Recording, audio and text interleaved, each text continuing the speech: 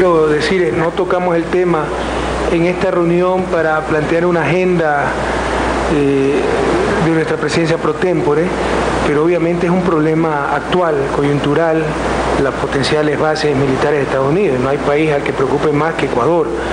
Queremos ver si esto se discute el 24 de agosto en el Consejo de Defensa y el Ministro de Relaciones Exteriores de la UNASUR, pero no excluyo, por ser un asunto tan grave, que se convoque una reunión de presidentes para tratar esto. Yo creo que es imprescindible que en esa reunión de presidentes eh, invitemos eh, al presidente eh, Álvaro Uribe, tiene que estar, él creo que eh, como una cuestión de miembro de UNASUR. Meten bala al movimiento popular, mediante sus helicópteros usan ráfagas contra el movimiento popular. Tenemos una obligación, una obligación como presidentes, que estamos temporalmente de evitar que Colombia se convierta en un Israel. Importante que Muy o papel importante.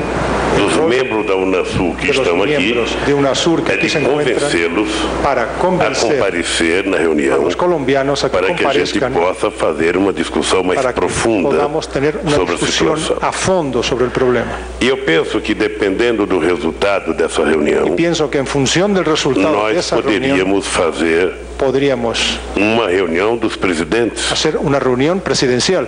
Poderíamos fazer uma reunião de presidentes, ou seja, para que a gente pudesse avaliar quais os comportamentos, Para- qual, qual o comportamento que nós vamos ter. evaluar cuál actitud Eu, vamos eu, a eu não consigo, Yo no eu não consigo consigo ver, ver, sabe, a possibilidade da gente aumentar os conflitos na no nossa querida América do Sul, posibilidad de aumentar los conflictos aquí en esta no región. momento em que tudo indica en que momento quanto mais paz nós que tivermos, todo lleva a creer que cuanto más paz tengamos, de recuperar o tempo más perdido oportunidades tendremos de e recuperar el tiempo perdido. povo Es para preocuparse.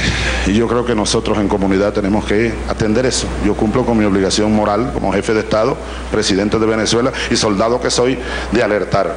Vientos de guerra comienzan a soplar. Y sería muy doloroso que terminemos nosotros. Yo iría llorando igual que Sucre, pero iría porque hay una dignidad en Venezuela. Ah, yo no voy a permitir que a Venezuela le hagan lo que al Ecuador le hicieron. No lo voy a permitir. Tendría una respuesta militar y contundente.